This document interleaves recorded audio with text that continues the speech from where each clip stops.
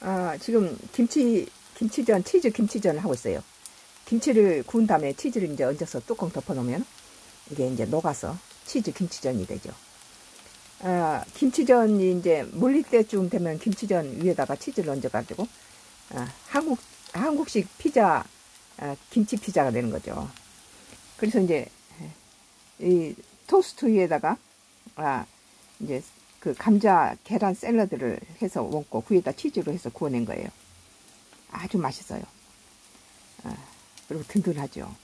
그 칼슘과 단백질이 풍부하고 비타민도 어, 채소 샐러드에 들어있고 여기는 이제 김치 전, 전에 이제 위에다가 또 치즈를 얹으면 별미예요. 아, 주 맛이 좋고 영양 바란스가 맞아요. 우리는 이제 김치전에다가 아, 그 좀 양파를 많이 넣어요.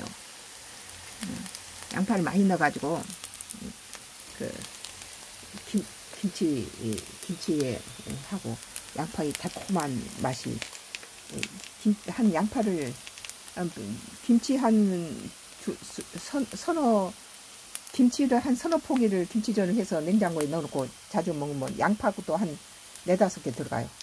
그래서 김치를 1대1로 같이 넣어요. 김치하고 양파를. 그러니까 굉장히 김치전이 일반 김치전보다 더 달콤하고 맛있죠. 그 양파의 향기가 대단하잖아요.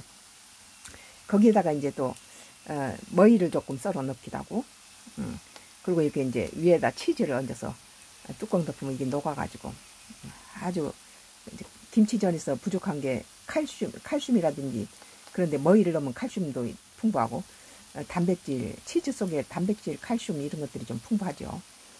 아, 그래서 어, 이게 저기 영양이 업그레이드 되죠. 음, 부족한 영양을 채워주기도 하고 맛도 더 있고 치즈가 들어감으로 있어서 김치, 치즈 김치전이 더 맛있어지고 품격이 높아지죠.